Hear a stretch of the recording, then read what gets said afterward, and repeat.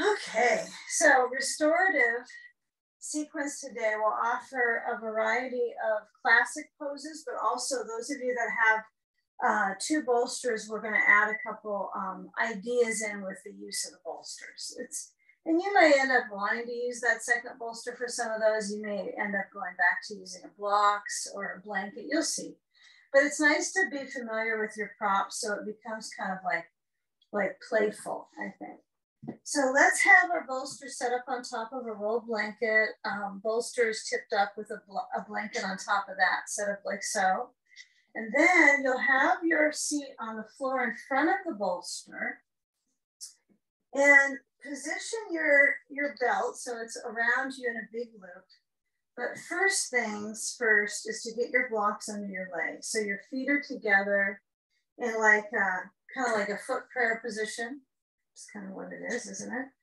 And the joining of the feet also has a belt over your waist around your feet and connecting the balance of the legs with the balance of the belt to the low, I would say not even back, it's like at the eyebrows of the buttocks. Your belt really scoops around your back. If you like that security definition when you lower back, I would keep it so your blocks are you know fairly low-ish. You don't need to have them that high, but generally the second setting is plenty. Um, if that's even too much and you want a little more stretch, just go to the first setting. And then just notice your feet might kind of complete that openness. The belt is probably pushing up towards the, the lower shin space. And you can have your block set however you want. You can fuss around anytime. Fussing is fine because we won't hear you fussing. Okay. So sand is an option as well across the ribs. The whole practice is optional, I guess, at this point. But fulfill that pattern of stimulation for the breathing muscles. So let's say we decide to have the sand so it's quite high on the rib cage. It's not the collarbones, but it's it's up at the rib intersection. When you exhale the next time or so, you'll let the arms kind of spread open and then feel when the arms are extended out, how the chest musculature starts to, well, it has definition, but it also has an ability to stretch. And so many of us have back, I guess you could say our back can be brick like, you know, the trapezius, the back area has the brick like issues when it's touched. So working on opening the front is, is quite helpful for that back area. So if the sand is appropriate for you, use that. If not, just go without. And then encourage as you center yourself onto breathing that the breath is in motion, filling the body. And the exhalation as it leaves, centering into the posture. So what's left is the shape. The breath comes and goes, and the shape may become a little bit more of a definition right in your focus. So feel there's balance in the knees, in the seat, all the areas that there's two of, right? Arms, two sides. And then notice if your breath actually experiences awareness in both lungs. If you fully breathe and go along the course of the exhalation.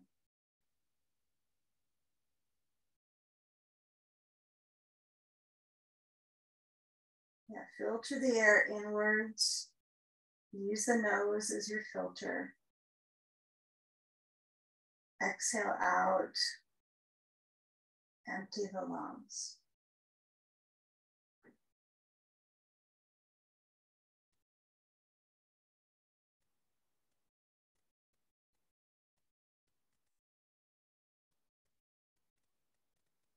Now, as you feel the shoulders centered and maybe they are kind of leaning into the bolster. Take a moment where the arms move open off of the ground so they hover, and you get to decide if you reach the hands together over the chest area straight up towards the ceiling, or if you flow the arms back behind you. Now that's only an option, right? If it feels like it's quality balance in the chest muscles, the sand might create some challenge for you to move your arms because you have this breathing weight on your breathing structure. So you can always slide off the sand and then explore the variation with the arms without. That feels a little more freeing to me, even though you might prefer to have the sand on.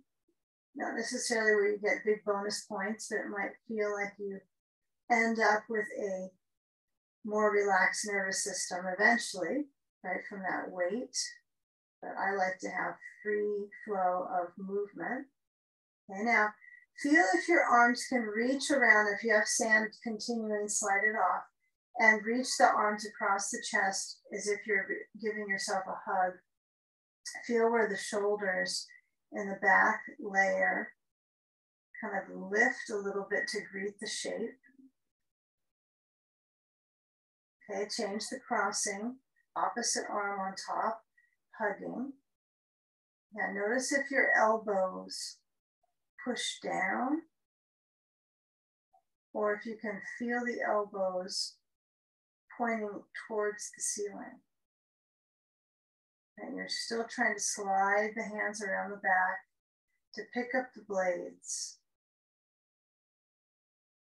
And then release.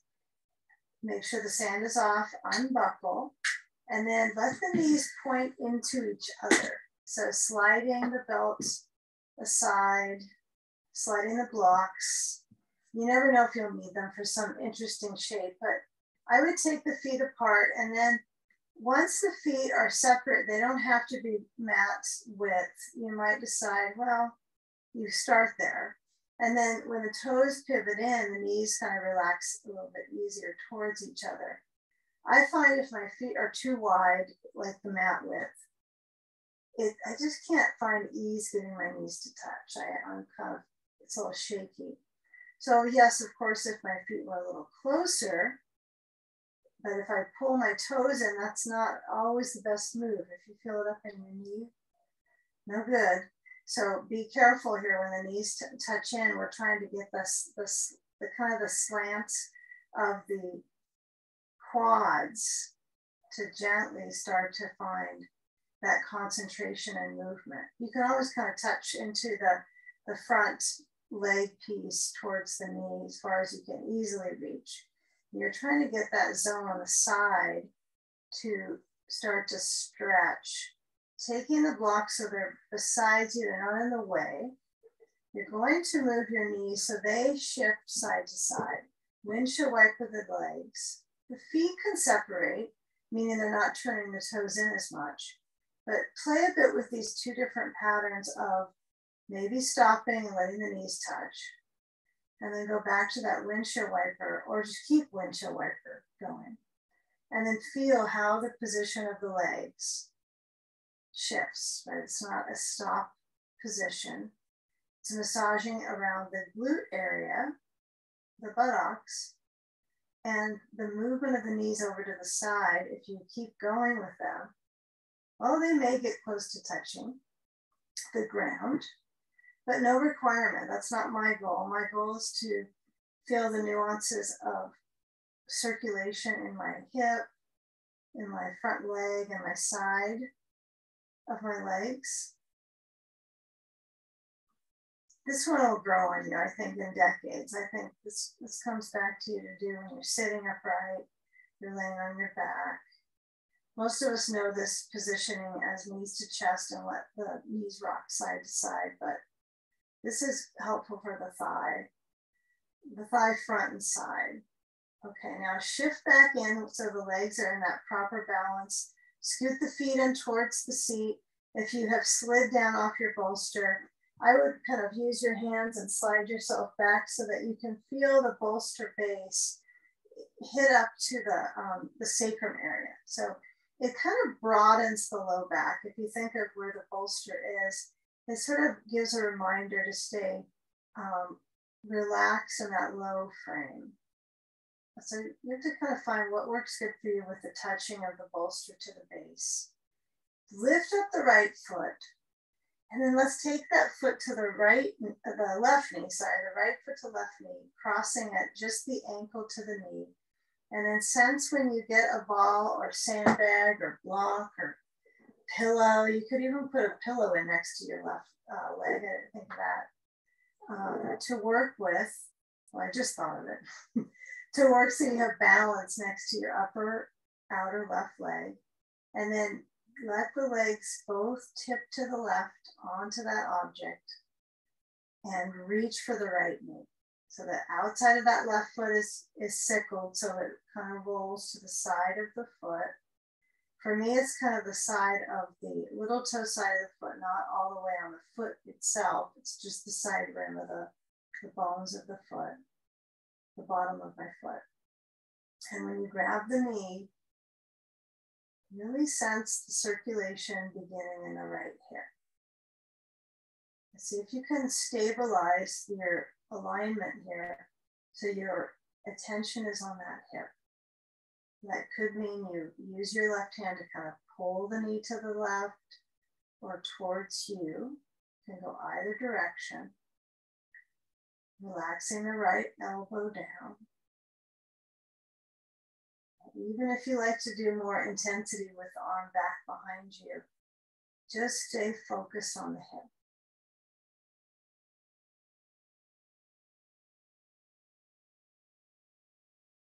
Yeah, avoid kind of making uh, impulsive motions, uh, like pulling and, and jerking motions. You want to keep it like it's a steady pull to the left side or towards you. Left bicep is toned.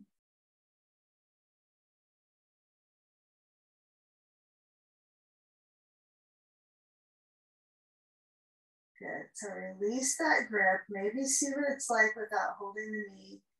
If your leg can actually maintain that crossover towards the left, it can even continue.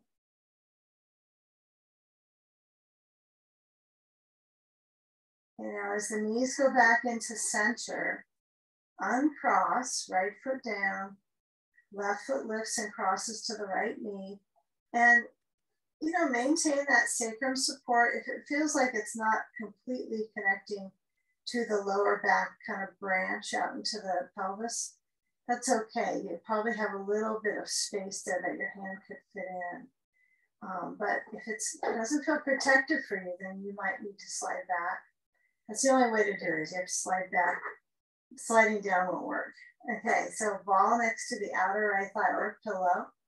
Push that in and so it's kind of stuck there, right? It supports you so you don't just kind of flop over, okay? We don't want you to do like we do when we do hip crossovers and we let the bottom hip roll all the way to the floor. So this is more of beginning shape that we do in the starting of class, right? So crossover, so my weight of my body is, I'm actually trying to keep learning about this, about how I give in with gravity so I want my, like my lower abdomen to feel like it's centered towards the ceiling. I'm not twisting. There's no twist in my ribs. There really isn't. No twist. The twist might go from your hip over. So reach for the left knee if you haven't already found that position. And then how far the knee is away from you is fine. So I can't see everyone's knee, but if you decide you want to tempt yourself to do a little challenge work. You might have that knee feel a little resistant to the hand. And then you're guiding the leg towards the right. You have to kind of see if you guide it towards you or towards the right. I imagine one side, if you were to like really aim a, a, a visual on it, you probably cross over quite a bit different from one side to the other. It may seem like it's still intense, but likely you have some differences. So focus on the similarities. balancing your hips. You know how we did windshield wiper a few moments ago? Kind of see how your leg pattern is leaning towards that right side.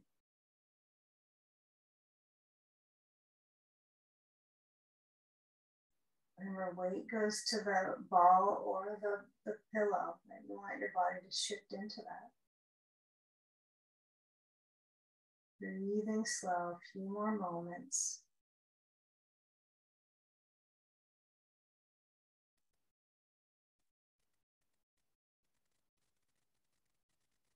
And let go of the knee. And then shift your hips back in center, actually your leg pattern back to center, uncross, and place the ball between the knees. Okay, now if you don't have a ball, I would use a block. Pillow won't work. Um, well, it might work for some idea with it, but you want an object that you're you have to define um, the legs to move into that doesn't just kind of smash together entirely, right? Or slide down and not be between the knee. So you want to feel that you're squeezing in and let the arms be wherever that you're not feeling like you have to activate your shoulders. So squeeze in Okay, the hips stay heavy. So emphasize that your heaviness in the hips, okay, and a grippiness in the knees to the item between. And slide the feet, just, you know, kind of curl the toes and move them a little bit downwards. And I'm kind of uh, at my bottoms of the feet still down, of course. What I'm trying to create is this ability that I'll have to lift up to sit upright, but the farther forward my feet go, right, then I have a, a, little more of a platform to sit up towards. Otherwise, if they're really close, I can't quite get my body to have enough base to hold me up. So try this, let the arms flow straight behind you so you get momentum. Inhale, exhale, come up, let the feet slide out if you need to. Don't worry about sliding your feet out. And then when you move yourself up to sitting, I don't think you have to keep sliding your feet out, but squeeze in, knees go, drawing inwards, and then get a feel for arms forward besides the knees are just a little higher would be fine. In fact, kind of play with that decision. If the arms are lower, the arms are higher, lean back so you feel where that bolster is. Okay, now come back up in center, move the ball or block, and then get a hold of your belt and let's just hook the belt. Don't knock your nose with the buckle, but get your belt with your under your feet and then lift up. Now, ultra challenge for muscling your way into something, but feel the compilation of the the energy of just getting your feet into the belt to get a lift it's enough already, I find, just to, to manage it, but just doing it is okay, just do it and see how you do. Okay, now my arms are straight, they're reaching, they're not overly reaching to round my back, but kind of get that feel of the lift.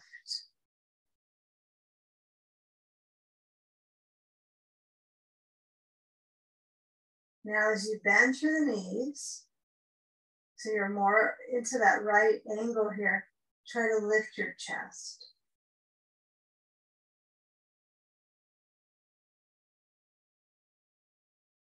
Now as you lower your feet, try to lower them so the arms go straight down.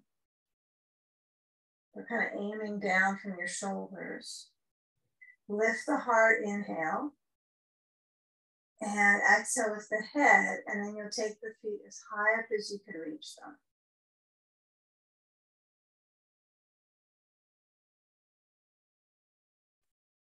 Okay, now lower down the feet and then slide the belt away. And this will be kind of interesting. We're going to balance with. I want you to take your bolster flat. So I'll be talking about bolster. Some of us will have um, flat bolster, and so you have a round one as well, or you have two flats, I'm not sure, but this needs to be the flat one. So you're going to take a seat on top. So you're kind of midsection is still kind of perked up here. Okay, you got your blankets. Let's see how we should align those. Let's, if you're gonna, be, we don't know if some people use two bolsters or blankets, so let's just stay with this focus. If you have a second bolster, just get it in front of you now. So let that be in front of you. If you got a bunch of blankets, place them behind you. This will be kind of a little free for all, I think. So right leg bend, so you cross that right foot under, so the foot is to the flat bolster. So kind of crisscross. Okay, this bolster's just in front. You'll, you'll find out if you use it or not. Get your belt and get your sandbag on top of the right thigh, so the bottom leg. Cross the sandbag. Can't say I got my sandbag on my right leg. I'm seated on my flat. And they're called either standards or flats. We'll just call them flats because that differentiates round or flat. It's kind of obvious. So I got my belt under my right, uh, sorry, my left foot. And I want you to lift up that leg like you just had your two legs in front. Now you've only got one. Bummer. Okay, but when that that levity, that movement of the leg moves, well, it kind of is stiff. It's not really actively bobbing up and down for me. Um, you kind of have some some work to do here with the back circulation. So lower the foot down. You, you want to have the belt free so it's not buckled around you. Feel where you have it under your foot. Kind of, you know, loofah your foot a little bit here. So get the belt sort of to the ball and then it's going to slide down to the arch. Once your heel is down, see if you can nudge your back muscles a little bit forward so you're sitting as prim and proper as you can. This is called heron pose, the heron. So we have the arms kind of down by the sides. And then the focal point here is that the back side of that left leg, we're trying to get some nice flow through that meridian. So as you pull with your arms, then I want you to try to work with, can you get that leg to lift? Do you have to muscle your arms to do that? So my sense is you do, but you want to try to use your lower abdomen and your leg muscles to get the leg up. So use the proper pull with your hands on your belt and then just try to kick your foot up. Just see what you do with kicking. Right, kicking. Your arms hold the belt so you're not going to suddenly fall back, but you're trying to use your lower abdominal muscles and your leg to kick that leg up. I know you use your arms, but Let's just pretend we used our leg and our core. Maybe we did. Now when you're pulling with that, the arms, right? Feel what you can do if you can loosen up the grip with your hands a little bit. So maybe the leg falls down. Hopefully it doesn't fall off, but falls down into balance. And then just simply bend your left knee, release the belt, and hold the leg and cross it over the right leg. So now you're in this pretzel asana. Right, so now your left leg is crossed over the right. If this doesn't work for you at all, you can't make that crisscross today, then you could put your right leg to straight. It could be lengthened out in front of you. Straight in front, you could go there too. Okay.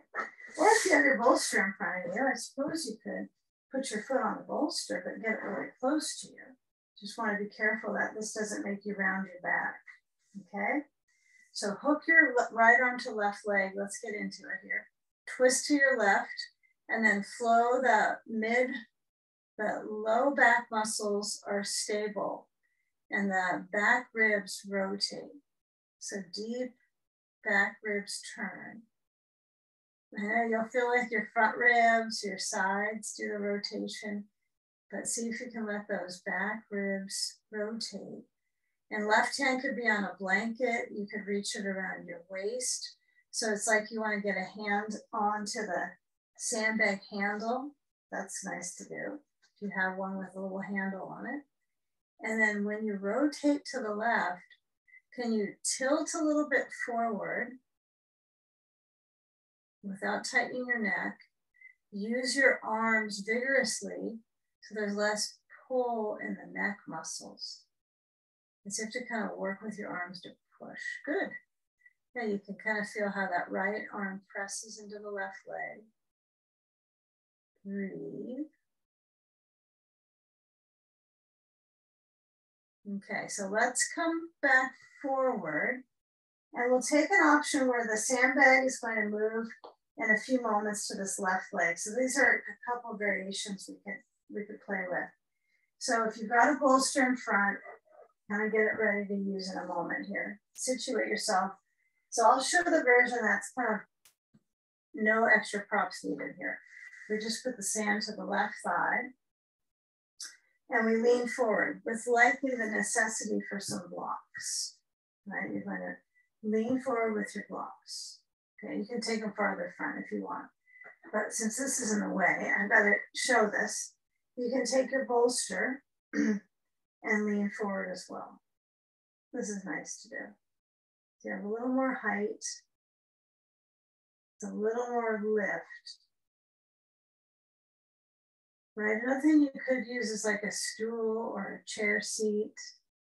That would work well too for that reach. But this way, the back muscles, whether you have the bolster, let's say you don't and you have blocks, they would be farther forward than I showed previously. And you might find you get some more definition if you have some good flexibility because you would lean down more, right? The bolster makes it so you don't have to have as much flexibility to do the shape.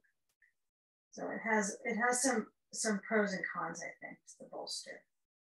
That you're going forward with sand on the left leg, you're in a simple cross-legged position. If you're sliding off your bolster, just push yourself back so you're up as much onto it as you can before you tip. and experiencing the back muscles strengthening. A few more moments here, breathing slow.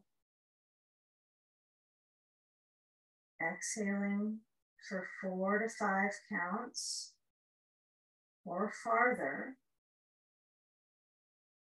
Try to extend the length of your exhale.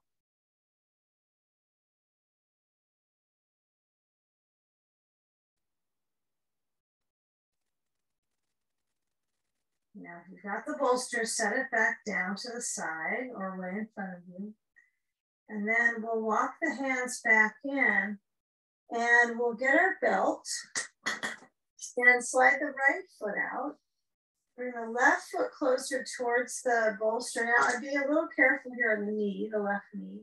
So let's say when you have your sand on your left thigh, your right, so your left leg is bent. If this feels like you, it's an opportunity to use something under it, like a pillow or a squishy ball, probably a little pillow would be better for that one. You just don't want the, the leg to start to feel pressure on the side of the knee, or for some people, it might be inside.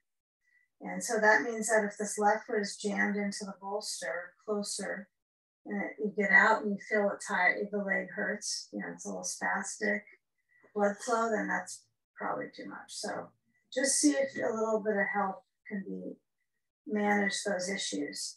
And then we get our belt under our right foot and we let that leg lift up. Yeah. If your left leg is not held as, as close in on this side, yeah, you might find this lift up with the leg is a little more challenging for your core. Right? Your base is, is wider that way.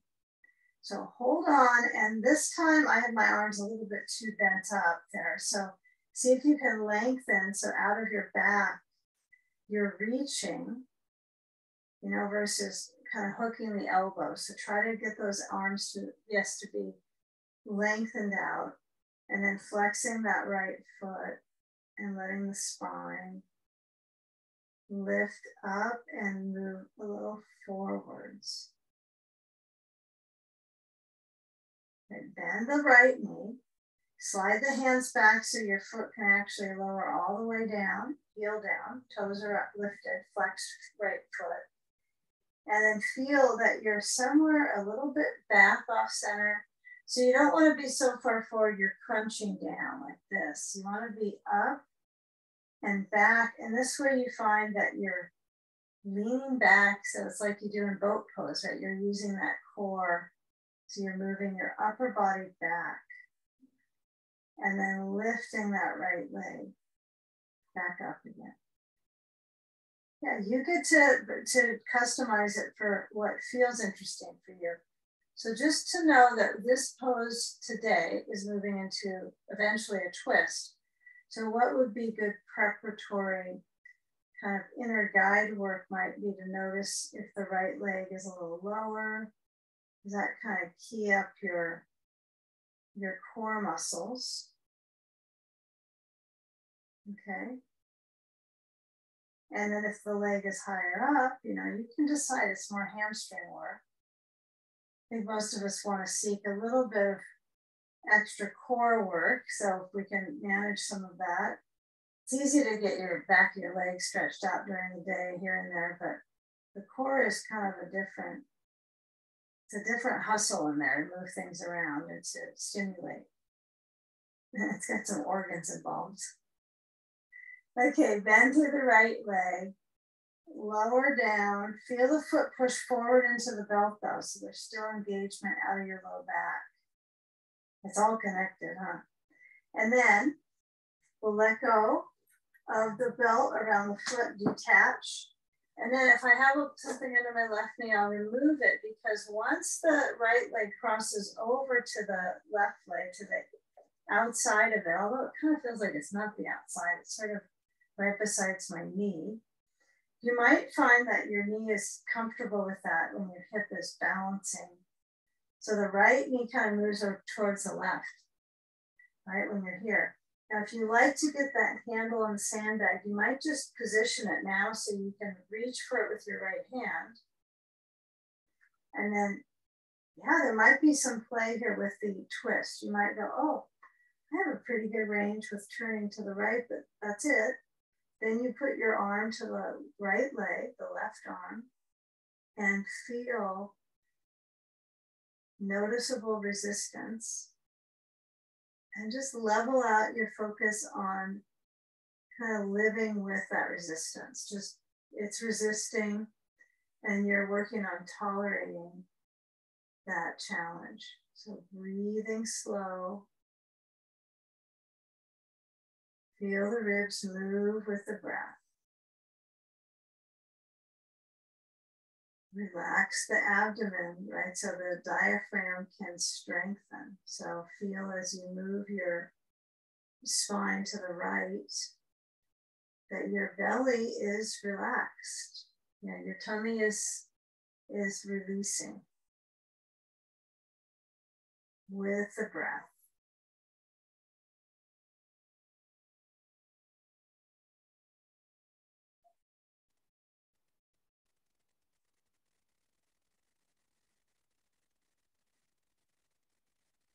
Okay, now I don't know about you, your feeling on this with the leg, but when you are turning right, your right leg might start to feel little, little spaces of pressure.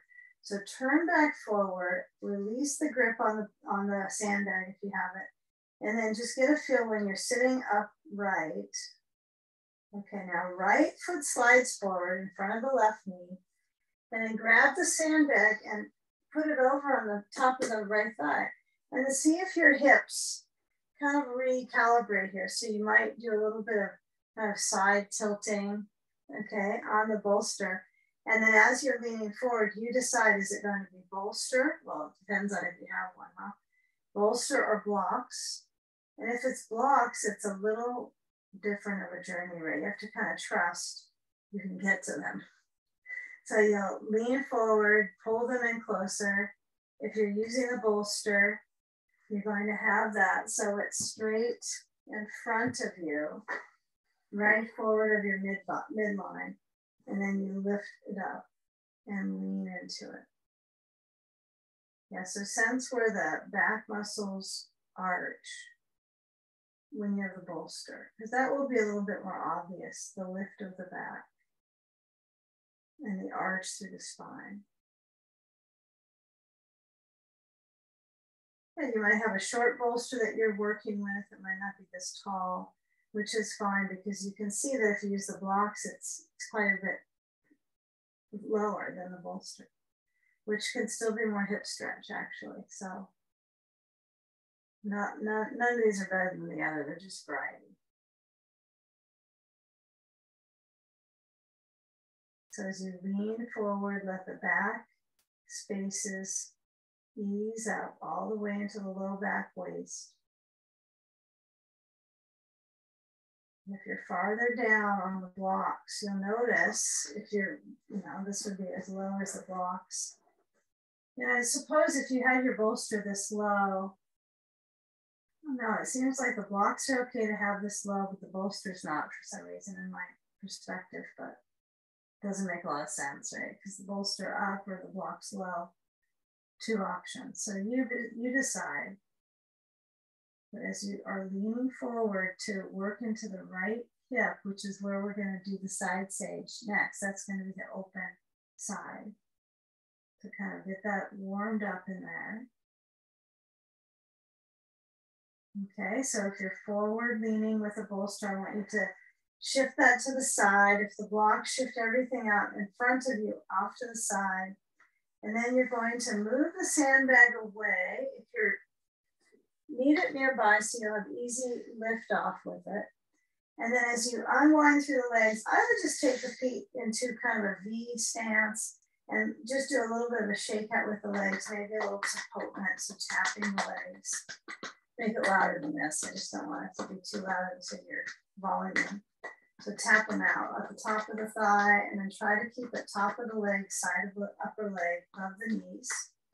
And then as you move your feet back in, this is when things change up a bit. So you're gonna slide down off the flats, okay. Those of you that have a flat and blankets or pillows are gonna stay with the flat like this, and you're going to go into side sage. At this point, you can stack up your blankets, and I would just stack them up in uh, quarter folds. Um, you can wad up a, um, the blanket or add a pillow so that you have this length on the side, right? Your ball could be used. Okay, that's one idea. Now, if you're going to use a bolster set, you'll take the, um, I guess you could sit on one of your blankets, huh? But you'll just push out your bolster flat and then take in your round, or if you have a second flat one, that's fine too. So it's fine, but if you're going to have a round bolster, you use that here because it will lift the ribs. And get your sand ready to go, just put it on the bolster so it's easier to get up there on your body, putting that ball on the inside of the right leg. And then what I like here is the blankets overhead. I kind of like this. You could use a block, you can use blankets. But as you lengthen that side, kind of explore where the left leg is close to the bolster. Have to make sure I know what prop I'm against here. And yeah, this is almost not high enough for my hand. So I can, blankets are very versatile. Best prop ever. Everyone got blankets. So yeah, if it feels extreme in the right side with the sand, it's likely really stretching your underside quite a bit more than you're used to. So take the time, even if you want to go sand free with it, just get a feel of that length into your side, waist, breathing. Yeah, sand or no sand, you decide. Sometimes it's too much. Felt like it was okay, but lots of grippiness for me on that with the sand. And the bolster, it's, you know, it really defines that mid body. So the rest of the body, even your your neck and your head down to the other bolster feels easeful, but the ribs get a lot of work. Depends on the intensity of your round bolster, doesn't it? And let the spine, spine has no problem with it, right? It's the rib cage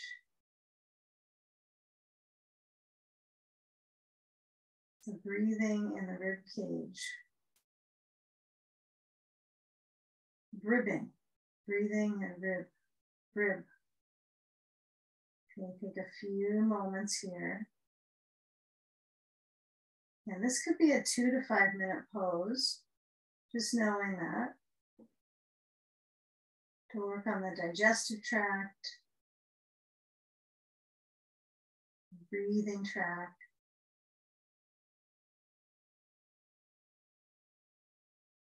Okay, before you come out, everyone might just have different props set up. We have different bolsters. You know, maybe you're using multiple blankets or pillows as well. But feel if you can get the weight of your head to surrender into the prop that's under your head. And some might not like the bolster as much as blankets because they're a little more giving to your ability to let gravity have you. Like with time, your head probably goes down a little bit more, right, with releasing. So if my arm goes overhead and I feel like my neck is pulling, it's probably not the position of my head as much as it's the position of my arm. Because I'm fine without my arm reaching in my neck, but once I reach the arm, it's a little tight. So you can always move your right arm open. Before you come out, I would move the sandbag away. Feel if your right arm can open. Maybe you can roll on the back of your head. Yeah, whether it's on a blanket or bolster. Open the chest. Okay, now we're going to keep moving the ribs here. So now as you rotate back down to the left, I know some of us have this bolster, some are, well, we all have a bolster right here, don't we? No matter what your choice is, you got at least one bolster here. So turn to your, just roll into your back. So you've got your bolster underneath your back and we'll take a horizontal chest opener, but when you lower back down onto your blanket or pillow or bolster behind you, yeah, you want to find that your arms can stretch open. This might take a little fumbling around. And you feel like you have true space for your arms to be between the items. So we want, if we have these props that are kind of bulky-ish, you know, it's a little more giving when you've got a blanket set underneath your head because you can kind of jab the blankets with your arms, then they just give way, but a bolster doesn't. So walk the feet closer in so that you have that convenient arch, right? Your feet can be apart, the toes can turn in a little bit, but work on the spine adaptability, especially how good your lumbars are with this position. Right? They, they serve us well for arching. They're really thick. The thoracics, though, right, they have a, a little different journey here of kind of unwinding and unraveling and then the head is back. Now, if you want more height under your head, well, you probably have some more blankets. So you could put another blanket underneath your head. That feels good. Now my neck is comfy, my back is a little less pressure, opening my ribs. So you decide, but be sure that your neck is not crunching your chin in towards your chest. Let's open here. This might feel a little foreign to you because we spend so much time in the day forward with our head tilting down that just moving it back could feel just rigid in the side of the neck. So use what you need under your head. Now, if your back is getting compromised here, bring the knees in towards each other. If that still continues to be a problem, then how long you're here, right? You could put a block under your pelvis. Right, I'll take away any suffering in the low back pretty quickly. Lots of props. Okay, a few more breaths. Opening through the chest. Sand free.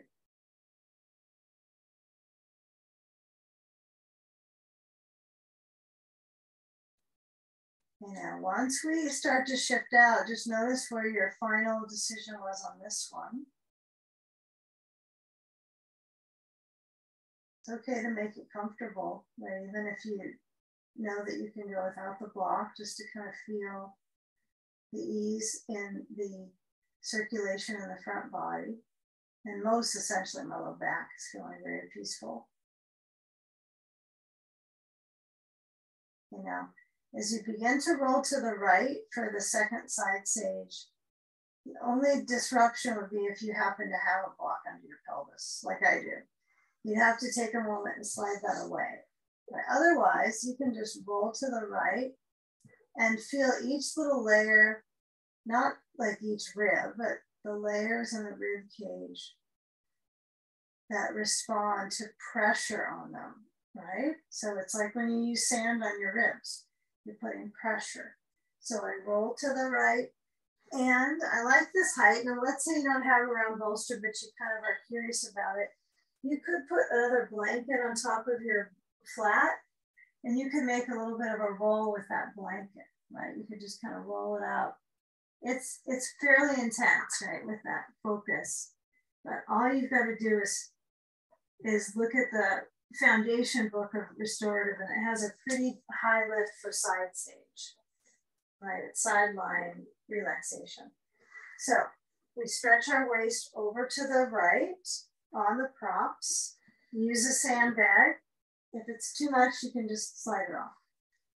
You don't even have to start with the sand, but the right leg tucks up towards the bolster, the flat or the round, and the left arm is reaching.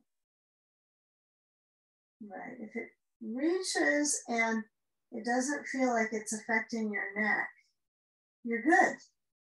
But if you start to notice once your arm goes over, your neck is tightening up. I'm not saying you're going to have that happen, but that might be a cause for make the blanket higher or the block over underneath your hand. Could use blocks. That will probably prevent the neck from straining. Or you can go without this position right? And let the arm rest anywhere it's comfortable.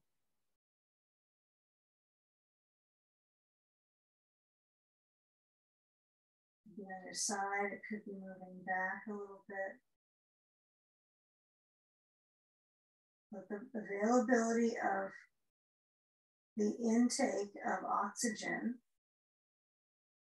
be equal with the out breath. So try to focus on a lengthy out breath but getting rid, right? Getting rid of that buildup inside.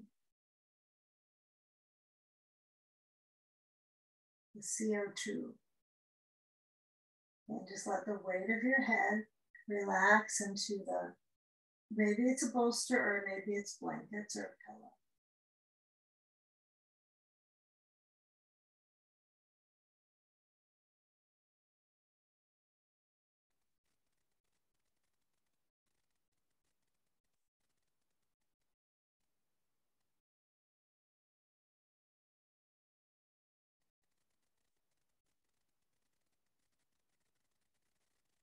Okay, now feel for a moment when that left arm comes away from overhead, whether it goes out to the side or it relaxes on your side. Could be stretching the chest towards the ceiling so you roll on the back of your head a little bit.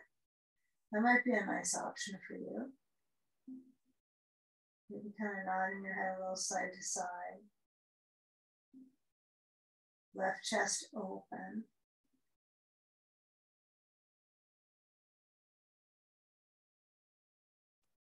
Okay, so now as you shift back in center, we're going to move things up quite a bit into our legs and yeah, some basic upright um, poses, right, standing shapes eventually.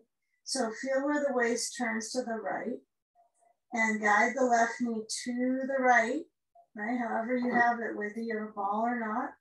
Left leg to right leg and then rotate. And when you come around, let's see how we're gonna fundamentally do this one. We're gonna turn and then you'll, if you've got a wall space to your left or right or behind you, you're gonna find your way with that blanket. One blanket is plenty to that space. So what about all these other things in your way? Well, you're gonna, you're going to use that second bolster at some point again. So just put it off to the side your first bolster, the primary bolster, or primary bolsters, they stay nearby for all of us. We might get into them sooner. Um, but let's say you've got, you're going to your wall space. The one thing, actually, we're going to use our belt again. So just keep all, all your goodies nearby. Get the main things out though for this, the standing set. Your blocks and your blanket. Okay, so blocks are on the front sides and your blanket. Now, quarter fold it or flat, you can do either. We are gonna do some upright, so I don't know if you want a whole flat blanket on your mat. You might find it's a little slippery. Or just, it's just make compromising your pose a bit. So place a blanket under your knees. Okay, even if you're um, you're if you have a carpet and it's pretty cushy where you are and you don't need a blanket, you don't have to have one. It won't, won't be required today. So one option is to have the hands, you know, a, a whole stance forward from underneath your shoulders. So take a reach with your palms, widen the hands out a little bit, and then tip your body weight back so that your feet are at the wall. The balls of the feet feel a little bit of stretch at the bottom of your foot. The toes are on the ground though, so they're not walking up the wall yet. And then as you shift your weight forward, hands are wide on the mat. So have them wider than shoulder width. And then lean forward and keep the feet pushing into the wall as you center the hip flexors and move into up dog. Okay. Feel where your feet push, feel where your head lifts up. So there's a nice arch to the spine. Good. So feeling hold the whole back awake and then slide back into that first shape where we push the floor away. And we feel that reach back into the hips. Head lowers down. Touch the floor with your head. Okay, now round your back through cat and then lean forward to up dog. Lift up your head, arch to the spine. Exhale back, head tilts down, fingers spread out. Push the floor away and stretch out your back. Okay, now get into this rhythm. So the, the next part of our sequence is going to be rhythmic motion right through the legs. With this as our kind of platform, this movement forward and back. So next time you shift back, yeah, come back up to table. I mean, we should probably try a dog pose. So those of you that are up for it, toes under, lift up the knees, but walk the heels down towards the base of the wall so that you can entertain the sensation of muscles and calves, okay? So feel where the heels maybe are a little bit up at the wall, and for some of us, the heels will be down on the ground. That might seem like a real far stretch for you though. So that's why it's nice to have a wall to let your heels lift up on and push the floor away. Okay. All right, now feel how you could use this momentum of your hips already lifting. Your hips are already moving back. And so I want you to step your right foot forward and get your blocks so they're at minimum you know, even if you're pretty tall, have them at the second setting. Maybe that would be helpful for our approach here. So when you bend through that right knee, just feel that it, it's kind of, it's sort of on a full deep lunge, but you're, you're just being cautious of the knee joint. So my back heel for me is up at the wall, right? The heel is tilted up at the base of my, of my wall. So my heel is not on the ground I don't want it to even try to get to the ground. The wall is really great for lunges, right? So my right foot, toes facing forward, unless I get turned around. And then taking your hands now so that you're going to get a little bit higher up with your head, ch chest forward. Okay, and exhale back, toes up on right foot. Same motion we did when we were on hands and knees. Inhale forward. Try to keep your heel back at the wall. Exhale, lean. And the heel kind of tries to move with you when you go forward. It tries to kind of go with you, the back heel. So your work is on stretching that calf back. You'll find out why. We'll get to that calf. Okay, now if you don't see that, the right foot, the toes lift up when I move back. And then as I lean forward, it's pretty simple, okay? But now see if you can scoot your left foot a little away from the wall you know, forward. So your heel might be able to go down and scoot your hands back on those blocks. Try to keep your right foot, front of the foot down and go forward. So you're reaching through the waist. You're trying to get your trunk to stretch this whole side, Parsvottanasana, so extended trunk. Okay. Let's say your heel is nowhere near the ground. It's like, it's just up, it's at the wall then, right? It's a little bit up at the wall. Use the wall. You can take your blocks up higher and farther forward. And we used to do this one with a chair a lot, right? Because it's good with the chair. That's why the blocks need to go up, unless you want to use your chair. And then see if you can levelize your hips. So the right hip is not pulled forward. It's not continuing to go forward. You level the hips. Your back calf is probably screaming on this one. It's a little bit intense. Yeah, so if you're tilting and you're not sure about that with your circulation, use your block heights. If you're a little more forward, you're more calf balanced. Okay, now carefully bend through that right knee. See how far you can extend using that back heel reaching down. You'll see the more you bend through the right knee now, it's going to be felt by your back calf. Now lift up the back heel, step it besides the right foot. Take a wide stance with your feet so they're a little wider than hips distance apart. Okay, and then let the balance come into your feet especially to the roots of the toes. So you're not pushing at your heels. And then you're lowering down. And you might reach around to your elbows to a forward bend. You might decide to have your hands continue on the blocks, be here, be with your hands on your elbows. And then let your head lower down. You let the back circulation expand from your feet up to your seat, and then even more so in your seat to your brain. That blood flow to the head. Great. So let the spine center over the back of the pelvis. Just improve that blood flow to the face. Okay, now if you're not in that forward bend as much, you're probably halfway. You might be even here if you don't want to go with that. Okay, so now let's switch it up. So if we have our feet apart, we'll step them back in together.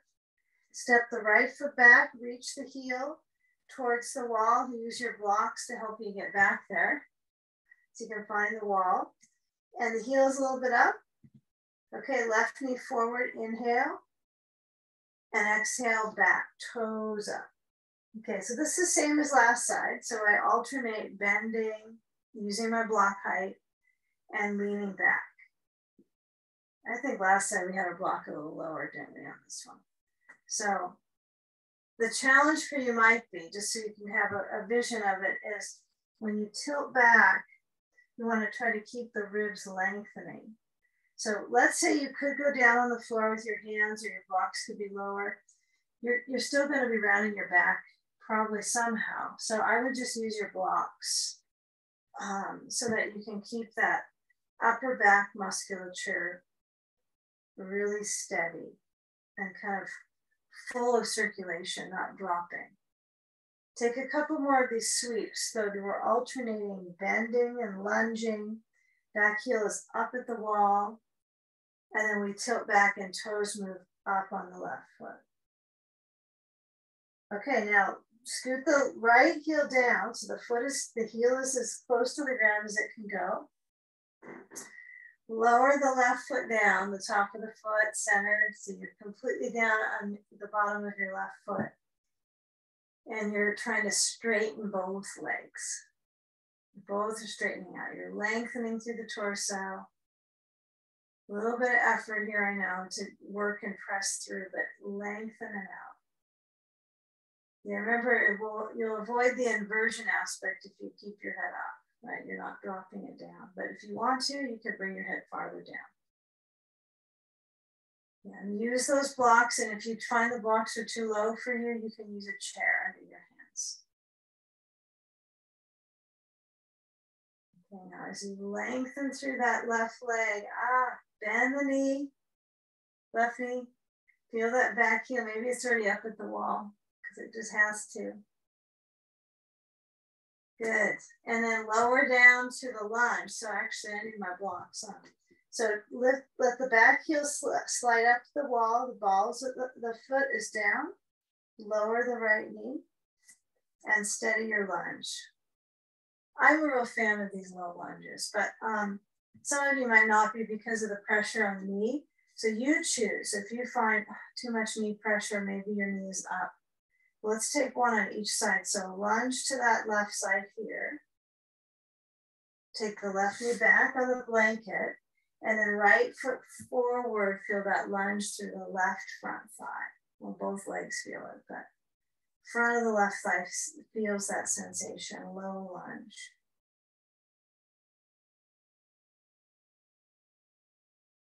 Okay, let the right foot slide back now. What we'll do is we'll put the blocks just a little bit off to the side and we'll turn, you'll slide your blanket towards your, where your hands were there, and that will be under your head. And you'll take your seat, so you're next facing towards the wall. Take a, a, a bolster right next to the wall. And is it too dark in this for you to see? Are you okay? You still see me okay? All right.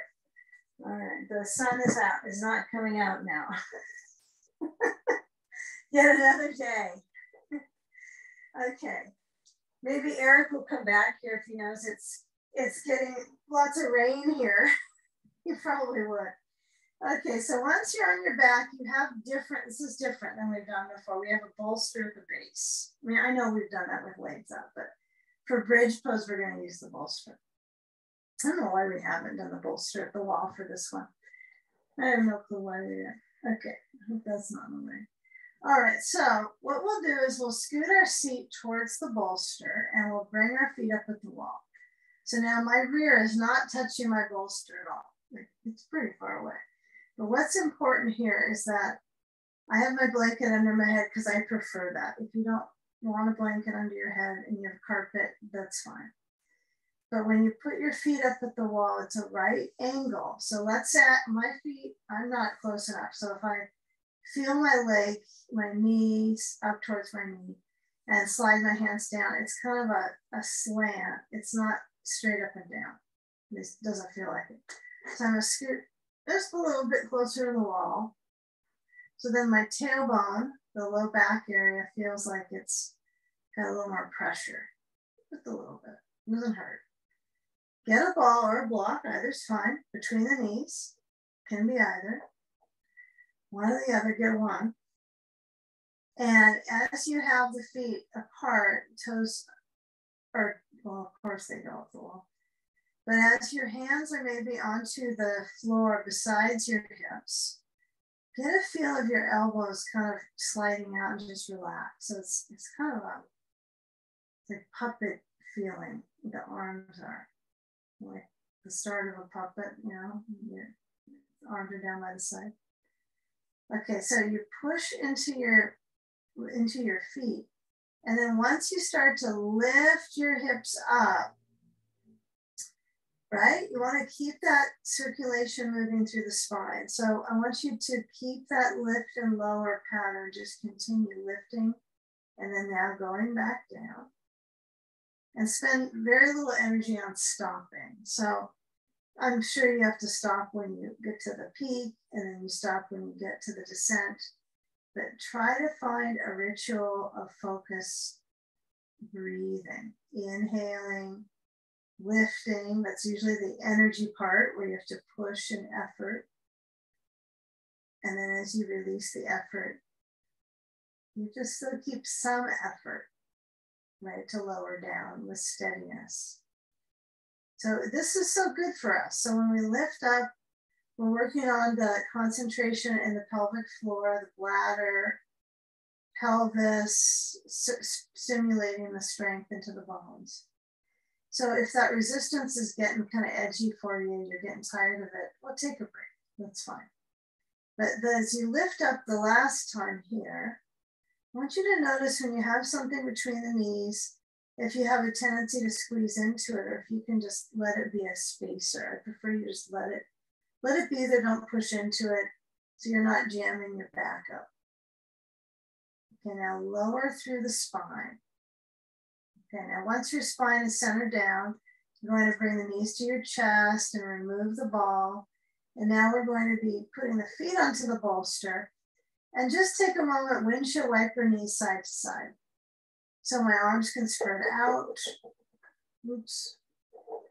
Knees go side to side.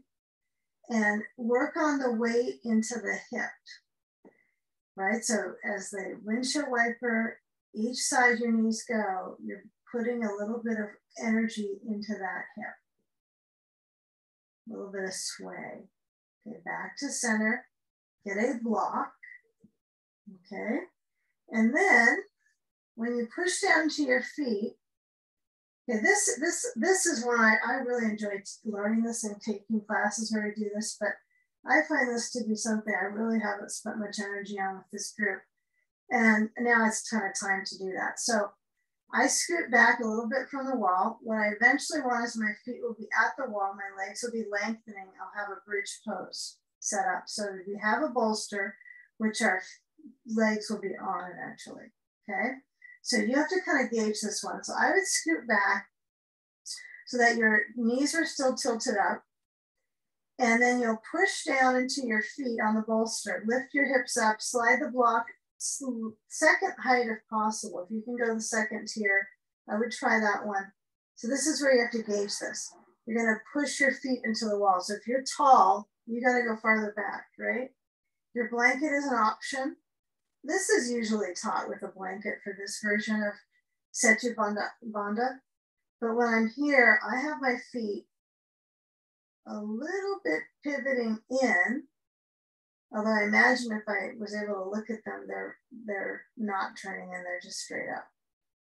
So make sure your feet push into the wall. This is really important here. Your feet push into the wall. So you have this whole leg muscular band of lengthening. We did something like this on Tuesday. I'm clear we did. We used a belt to hug the leg muscles in. So all of your upper thigh um, you know, circulation, your connective tissue here was bundled in together, it was tightened in.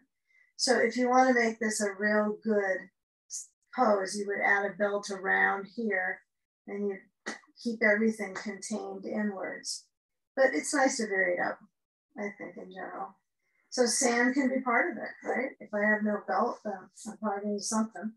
So if I put my sand across the front of the hips, I don't think anybody's hips cannot tolerate the weight, but it's weight. You know, it's it's definitely an osteo strong move here when you add these pieces. So you've got that push of the feet, you've got the weight.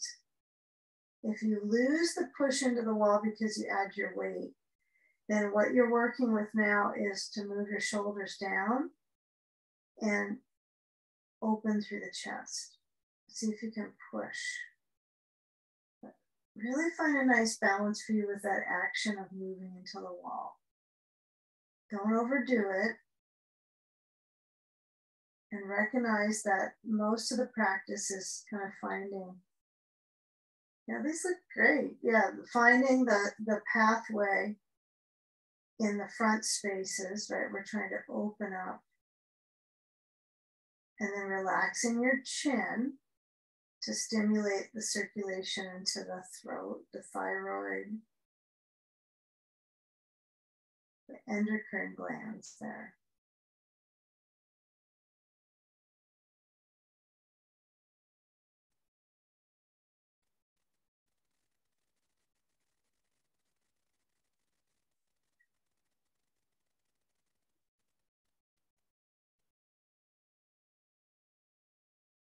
You know, feel the pressure that's obviously with your feet.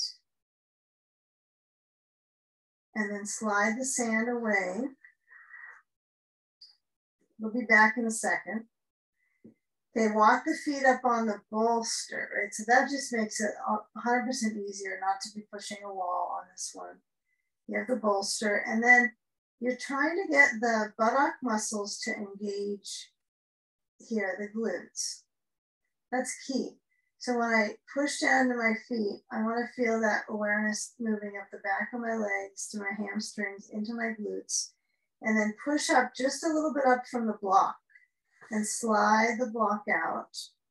And just put it anywhere and lower the spine and try to go slower than you ever thought you could so that the spine eases down on the whole lower back rib space centered. Okay, we're centered. All right, so taking the foot, the feet to the bolster, push the bolster to the right side, use your feet. So you're able to use the feet to move things around. And then once you tug on the bolster with your hand over to the right, you've got your flat bolster, right? That's what you're gonna focus on. Now, when the right leg stretches down, you might be right against the wall. You might have to scoot back a tad, but as the left leg crosses over, let's say you feel when the left leg goes over that you want more height, well, you could use your round bolster if you have it nearby. You could add a blanket on top if that's better. You could add a sandbag to the outer left leg. And even better, if you have a ball somewhere. This is a home practice, isn't it? You need all these items. You might as well do this from home. okay, so have the sand on the outer left leg and then the ball attaching to the sacrum area. Left arm is open. Now head can go left, but some people really like the head to go towards the right on this one too. It's all about the neck stretch on that. So what feels better on your neck? Again, we don't need to overstretch our necks, but working in this direction is not the daily habit. So that going side to side versus tipping down. So you be to the decider on the neck direction. And then feel if you can let the weight on that left leg or the left arm, whichever feels more important to you right now, open out both and feel the abdomen move with the breath.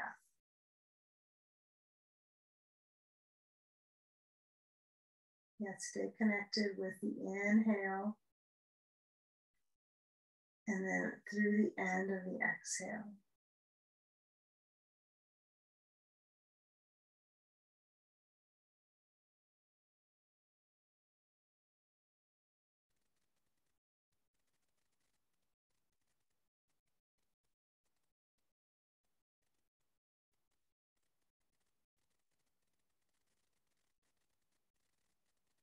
Now shift your head back into center.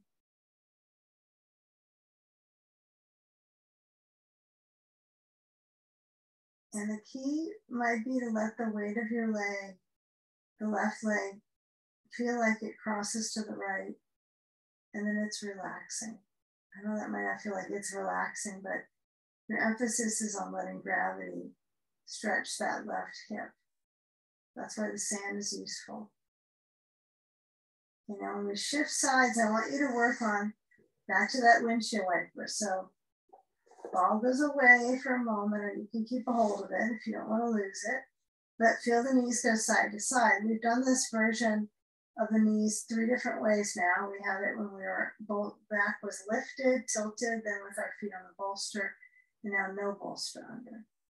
So you might be persuading your waist to stretch a little bit more here, right? Then get the bolster with your hands over to the left side of your mat. You're flat, or maybe you're round, you, you get to choose. And then with your left leg stretching straight down and it bends a little bit, you curve your right leg over to the bolster on the left. And then if you can get the shoulders back and the chest open, that would be a helpful base in this final spinal that you feel. Even though it's tempting for some of us to roll to the left with our right shoulder. It's really important if you can prevent that so that your chest circulation and your heart and your lung circulation is a little bit stimulated here, right? With your right arm open and down.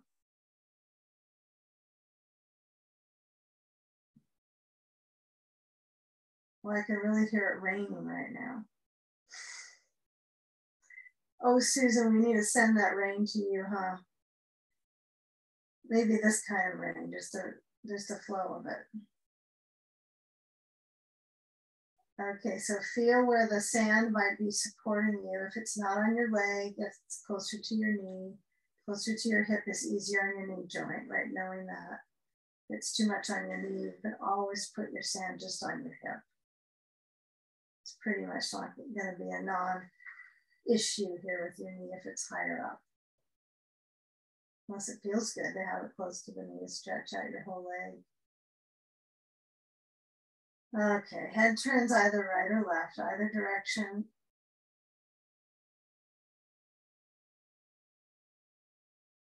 It really does seem like the responsible way is to go right, though, as far as science with this, though. Right, you want to try to keep this upper back area stretching, lengthening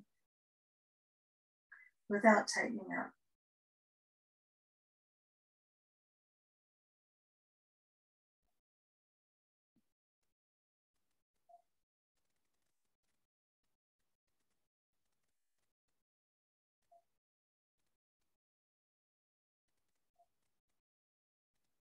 Okay, now give a few more moments. Settle the movement of the breath. Four count in and five count out.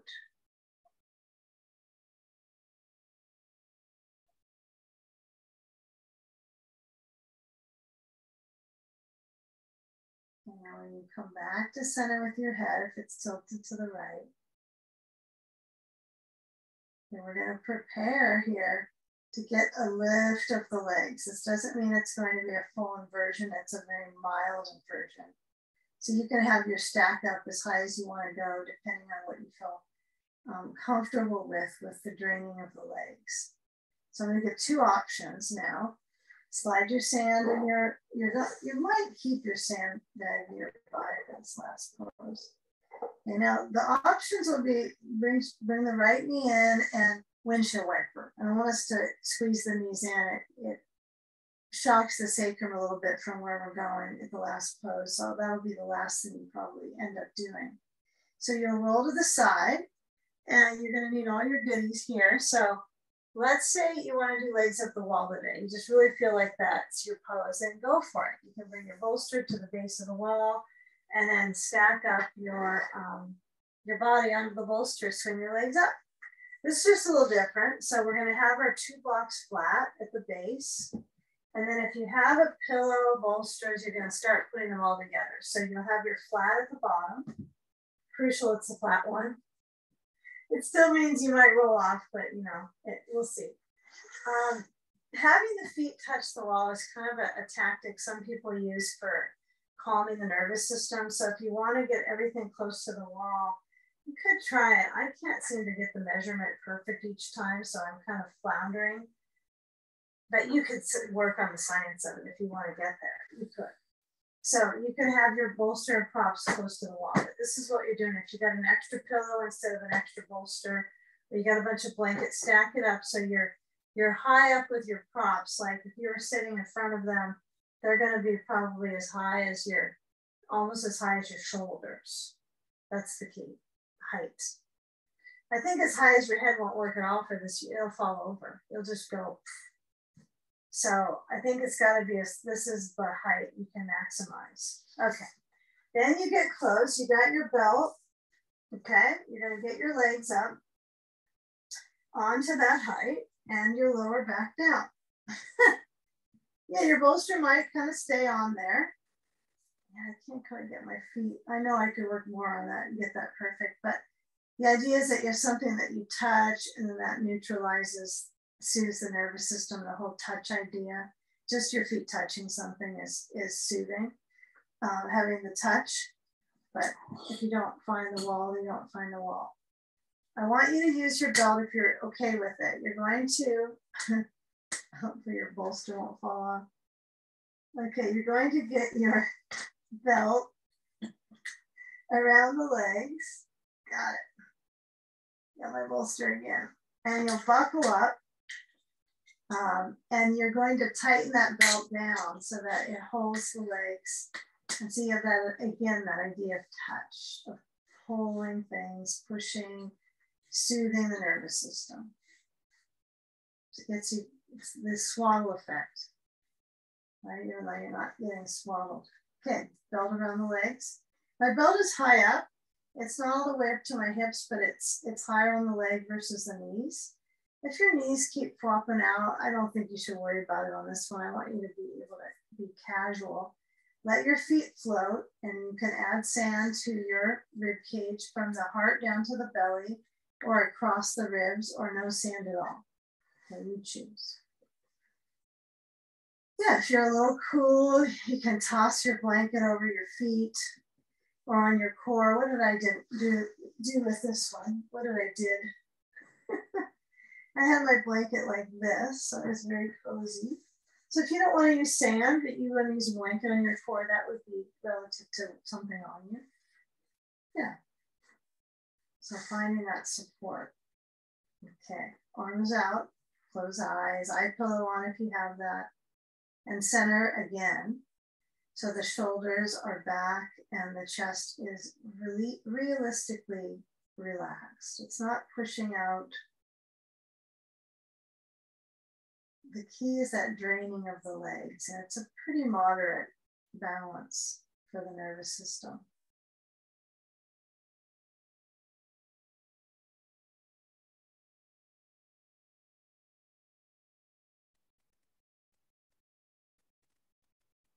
Now try to push with your breathing cycle into the belly so the belly body feels like it's actually moving. Even if you have that resistance on it, the, the blanket might feel resistance. Try to push into that area and let the abdomen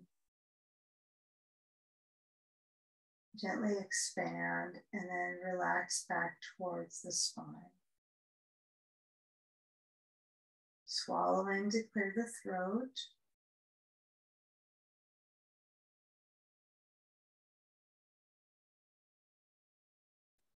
And let your head, if you don't have an eye pillow on, you can do this, let your head roll from side to side.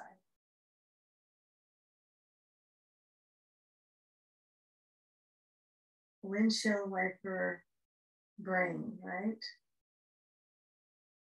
Windshield wipers on the brain. That sounds like a poem.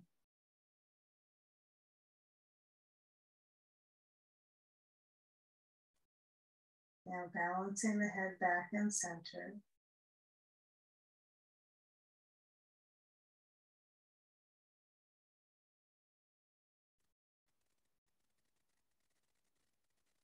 If you have any sand on your ribs, start to move that aside. But let your concentration go where it's real important here is on your feet. So the feet are float, they're kind of in a float position. And they make it real cool in this position because the blood is moving to the, the vital organs. It moves out of the extremities. That's what inversions do, even mild ones, and moves all that content into the vital organs. Right, to stimulate the immune system. So here's the deal, right? That's the key with even mild inversions. Okay, so let the weight sink into the back of the pelvis. If you got a blanket on, you can keep that on when you bring your knees into your chest. It's not a big deal, but you got to unbuckle the, the belt.